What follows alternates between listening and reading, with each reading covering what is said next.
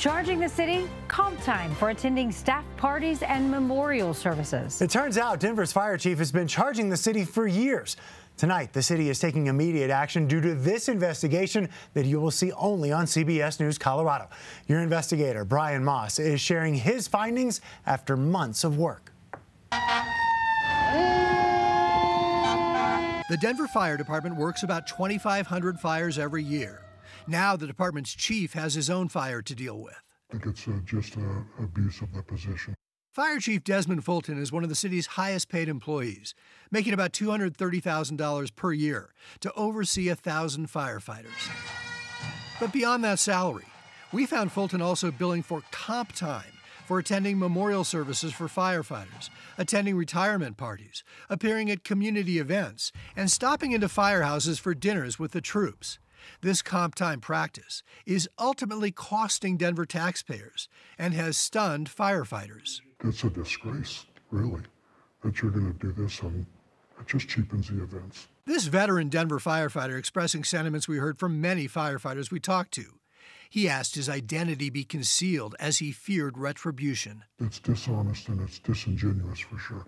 We obtained the chief's work records for the last three years, showing that if he came into work at 7 a.m. for a retirement party like this, he'd bill the city for comp time, usually two to three hours.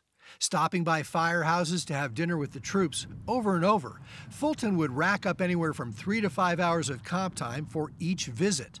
That's just terrible. Why is it terrible? The thought is he's coming there because he cares and he wants to be with you, not he wants to make a buck. I thought he was taking the time because he wanted to make a connection between the administrative staff and the online personnel. Welcome, everyone, to the 2021 T Mobile Home Run Derby. When he went to baseball's Home Run Derby in 2021, that was good for seven hours of comp time. The American League takes on the National League. When he went to the All Star game the next day, he billed another six and a half hours of comp time. Two days after the Club Q shooting, when he attended this candlelight vigil, the chief gave himself three hours of comp time, two hours for a weeknight appearance at a menorah lighting at the state capitol. Going to this Denver Days event, good for eight hours of comp time.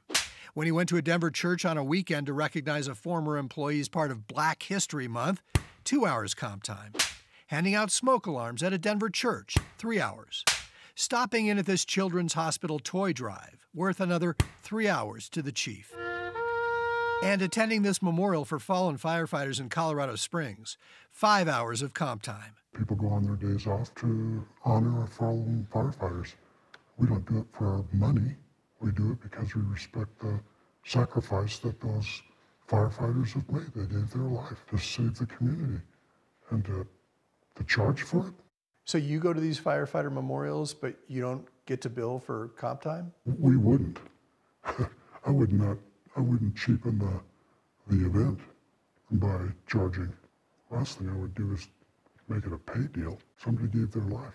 Chief Fulton declined an on-camera interview, but his immediate supervisor, manager of safety Armando Saldate, seemed to have issues with the comp time practice. I was unaware of this practice, which dates back to former administrations, wrote Saldate in a statement. I will be issuing a directive to current command staff to cease the use of Kelly Flex time until the necessary facts are known. Additionally, I am ordering an independent investigation. In the last three years, the fire chief submitted for 415 hours of comp time. That's more than 50 extra days of work even though we found Denver's municipal code specifically says division chiefs, deputy chief, and the chief of the fire department who work overtime after the end of a regular shift shall not be compensated. But we found the fire chief, deputy chief, and division chiefs all taking credit for significant amounts of comp time.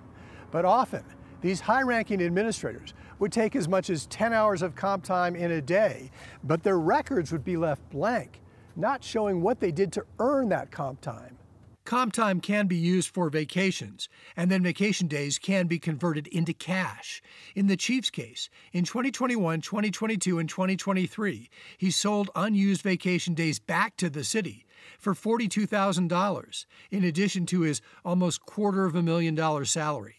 The city paid out almost $160,000 in the last three years to the top department commanders for their unused vacation time. This firefighter says accruing comp hours for attending events and activities expected of the department's top administrators has to stop. They made a contract to work for that much money. Go to work, do your job.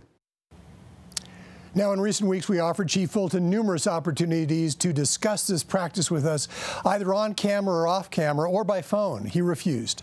Fulton's been fire chief since 2020. Mayor Mike Johnston reappointed him, and Denver City Council confirmed his appointment just this month. We contacted the West Metro Fire Department to see what their policy was. They told us their chiefs are not allowed to accrue comp time at all. Hmm. And we'll continue, of course, to follow this story. All right, Brian, thank you. You bet.